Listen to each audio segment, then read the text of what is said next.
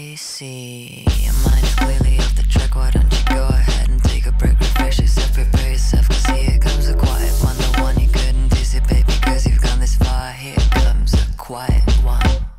You got to TV with cables, enough of that Lamar and Staples, enough of all the shit you tackle. Here comes the quiet one, examine the fridge one more time, get one more drink to kick the previous. Cause here comes a quiet